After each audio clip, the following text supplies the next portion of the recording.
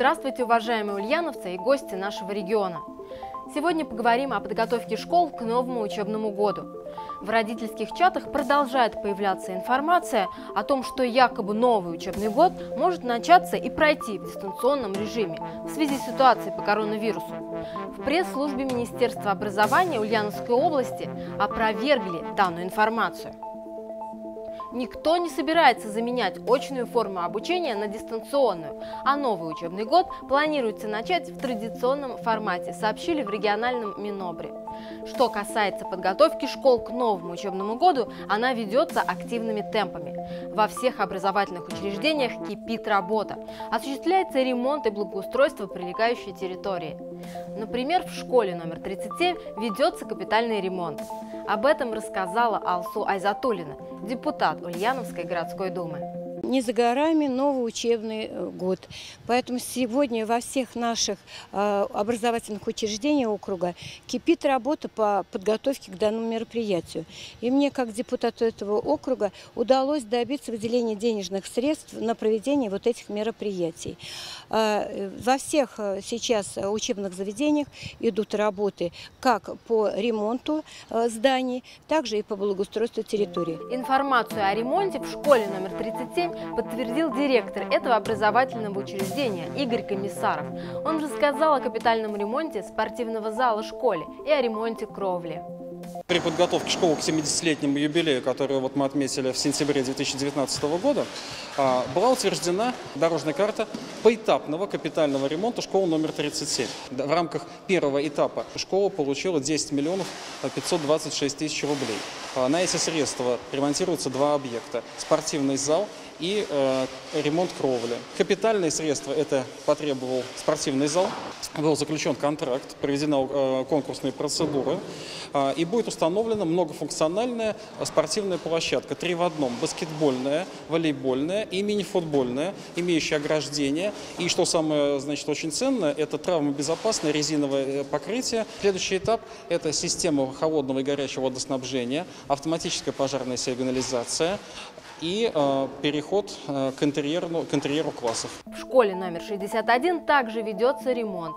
Полным ходом идет подготовка к новому учебному году. Об этом проинформировала директор учебного заведения Ираида Иванова.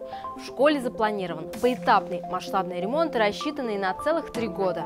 В этом году началась большая подготовка школы к новому учебному году. Э, начался трехгодичный ремонт школы. Сейчас Рабочие делают фасад школы, э, утепление, штукатурка, покраска. Также будут вестись ремонтные работы на кровле. Будет э, обновлено освещение территории школы. Кроме этого, будут работы по замене беговой дорожки. Это в этом году. На будущий год также запланированы очень большие работы.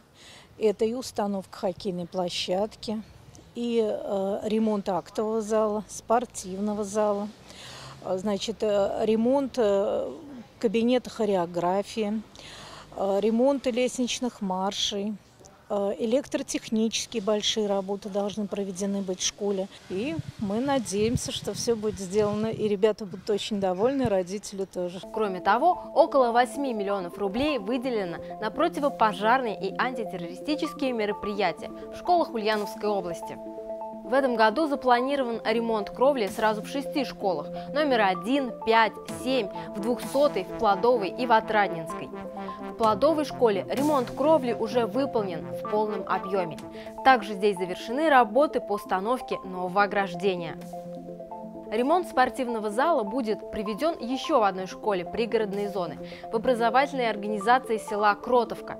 На сумму около 3 миллионов рублей здесь проведут мероприятие по созданию доступной среды для учащихся. Работы по благоустройству в рамках программы «Школьный двор» запланированы еще в 12 школах нашего города. Здесь будут отремонтированы ограждения и восстановлено уличное освещение. Особое место при подготовке к новому учебному году уделяется обустройству спортивных площадок и школьных дворов. Новое спортивное оборудование установят на территории сразу 10 школ. Таким образом, подготовка к новому учебному году идет в штатном режиме. Новый учебный год должен начаться в привычном формате, с учетом рекомендаций Роспотребнадзора. Никаких поводов для паники нет. Уважаемые ульяновцы, чаще мойте руки, надевайте защитные маски и перчатки в общественных местах. И, пожалуйста, берегите себя. А самое главное, не поддавайтесь на провокации, никогда не паникуйте и доверяйте только проверенным источникам информации.